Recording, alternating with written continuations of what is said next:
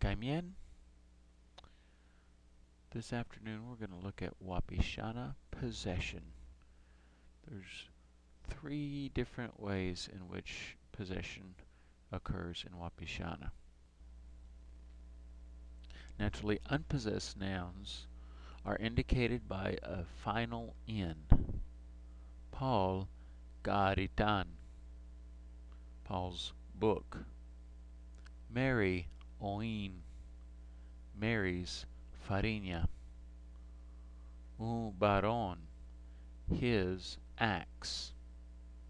And that final N shifts the weight towards a syllable that would normally be a final vowel and therefore light syllable. Now it becomes a heavy syllable because the N adding that final consonant gives it extra weight.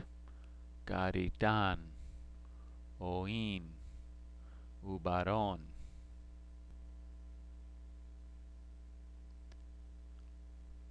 Naturally possessed nouns, like a person's body parts, whenever they are unpossessed or talked about in a generic way or distinctness, um, you add an I to the end. Idibai, a nose. Or Aro idiba, the deer's nose. Idibai, a nose.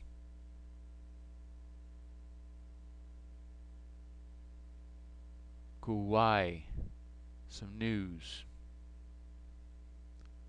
George Gua.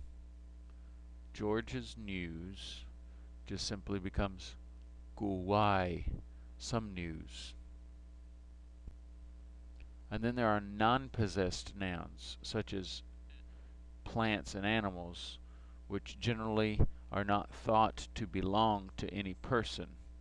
So to distinguish ownership, you must specify my pet, etc.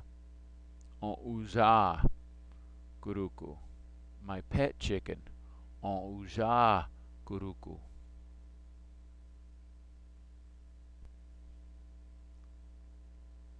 Here's a list of possessed body parts.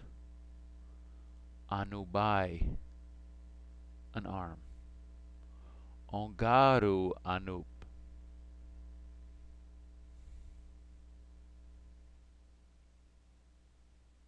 Anubai, an arm. Ungaru Anup, my arm. Ninubai, a tongue. Ongaru Ninup, my tongue.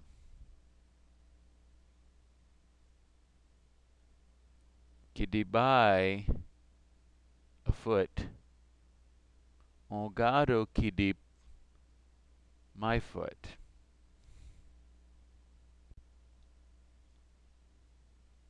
Idibai, a nose. Ongado idip, my nose.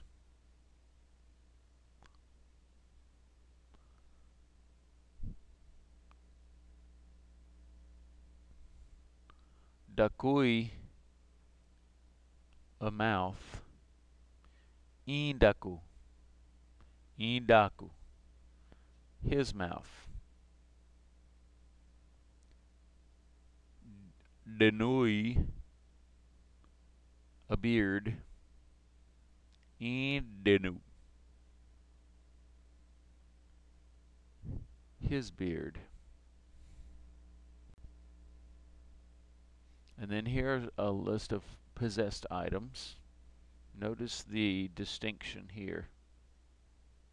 Bari, arrow. Anybody, his arrow. Or anybody. Somara, a bow. Isumaran, his bow, generally unpossessed, now becomes possessed. un somaran. Kanau, a canoe, becomes un kanawan, un kanawan, his canoe.